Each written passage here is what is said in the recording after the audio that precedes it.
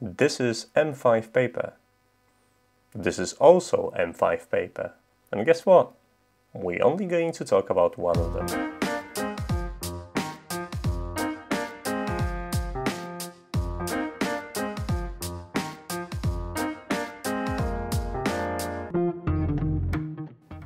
Hi, there are two types of people. People who like paper and those who... Wait, wait a minute. Is there actually someone that doesn't like paper? It's... paper is awesome. And since we already established that everyone loves paper, let's talk about the electronic version of paper. And I know what you're gonna say.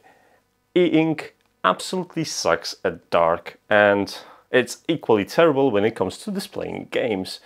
And I'll agree with you. However, that won't stop me from liking M5 paper.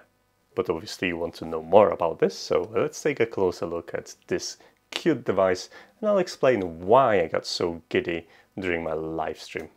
I'll be honest with you guys, every time I get my hands on a new M5 Stack device I get extremely happy, mostly because they are amazing device and even though the formula is each time very similar, there is a ESP32 inside and a device that allows you to tinker and play with, they managed to throw something fresh in the mix. And it's the same with the M5 paper. It's obviously not the first time someone attached an e-ink to ESP32, but you have to admit this has been done in a very spectacular manner. This gorgeous 4.7 inch display is capable of displaying 16 colors in resolution of 540 by 960 and on top of that comes with a multi-touch display that actually makes that e-ink refresh rate quite bearable. And I know you're to tell me other devices come with 10 point touch display, but I don't know about you guys, but uh, this is the way I use my palm-sized devices. Like, yeah, definitely how I use it. This e-ink display is obviously a new thing, but this is not the only e-ink product from M5 Stack. There is also Core Ink that uh, I'll link in my article if you want to check it out. And since this is ESP32, it's obviously Bluetooth enabled and compatible with 2.4 GHz Wi-Fi band. Flip the device on the other side and you'll notice how much features and attention went into this design. So it's as usual charged with USB Type-C. Yes, I'm really really super happy that this is actually a thing. There are three expansion ports, there are Grove connectors that you can use with compatible expansion boards and sensors. Now Seeed Studio alone have about 300 different modules, so you're definitely not going to uh, run out of toys to try with this device. If that's not enough, there are two physical buttons on it, which one kind of looks like a really cool rocker with a button function. There is a micro SD card slot in case you need a storage. There are a couple of sensors inside, including temperature and humidity, and RTC real-time clock, which you can use to increase and prolong the life of your M5 paper device. As ESP32 chips aren't exactly known for being battery friendly, you can use that RTC to enable very low power sleep policy and only wake up the device when needed, taking advantage of the e-ink display that's always going to display the information on screen that you need. This is a palm-sized device that is really fun to play. It comes with an on-screen keyboard, which I thought at first I'm gonna hate, but thanks to that responsive touchscreen, it's actually quite pleasant to use and it's not terrible at typing. I mean, don't get me wrong, it is still an e-ink display and the refresh rate isn't great if you compare that with TFT and uh, LCD, but as far as e-ink displays go, it's actually pleasant to use and I have no problem using it in that fashion.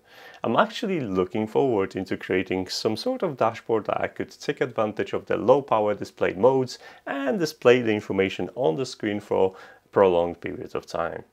I have to say, I got really spoiled by the Fire development kit mostly because you can program it without using any wires thanks to built-in battery and the ability to use UI flow online and send the code over the internet.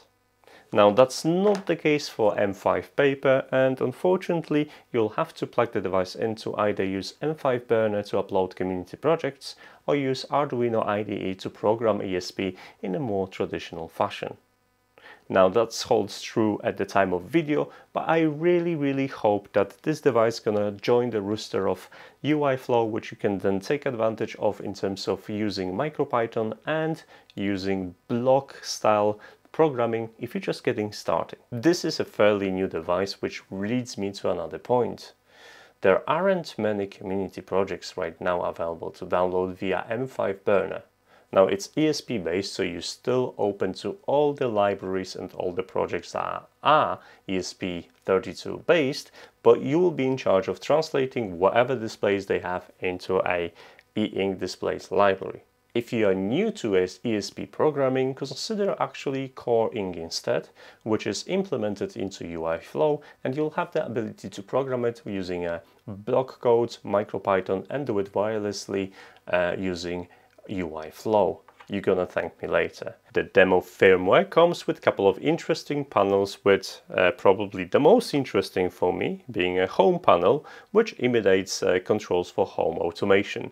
This is something I really really wanted to play with but as it turns out uh, this actually panel isn't featured anywhere on a GitHub yet so I kind of got stuck waiting for the code to be released so I could uh, try to hook it up to my home and enable a couple of lights and heating system from this device directly. This is something I'm definitely gonna spend some time more trying to do because the idea of having a panel like this controlling my devices and, well, drawing next to nothing in terms of power consumption really appeals to me.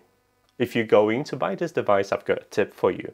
The button at the back instantly freezes the screen and shuts down ESP32, entering low power mode. Now to wake up the device, just hold the um, and if you want to bring the device to uh, life again, just hold the rocker button for about two seconds and the device will power on uh, ESP32 and becomes responsive again so you could play about a little bit further. I'd like to thank M5 Stack for sending me this so I could take a look and share my thoughts with you. I hope in the future you're gonna see this in a couple of projects because my head is full of ideas but right now I'm trying to find some time. Now, if you can get over the fact that right now the UI flow isn't supporting this device and you have to use Arduino IDE, then go ahead, you have my full recommendation in terms of getting this. Now in the description of this video you're going to find a link where to buy it and article telling you a little bit more about the device itself. And if I made you curious about the Fire Development Kit or M5 Stick, then go and check it out at the end of this video. I got a link both reviews so you could watch it after this one.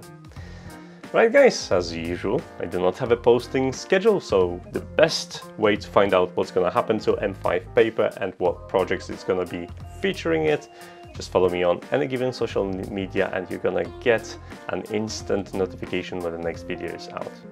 As for now, thanks so much for watching and I'll see you in the next video. Take care.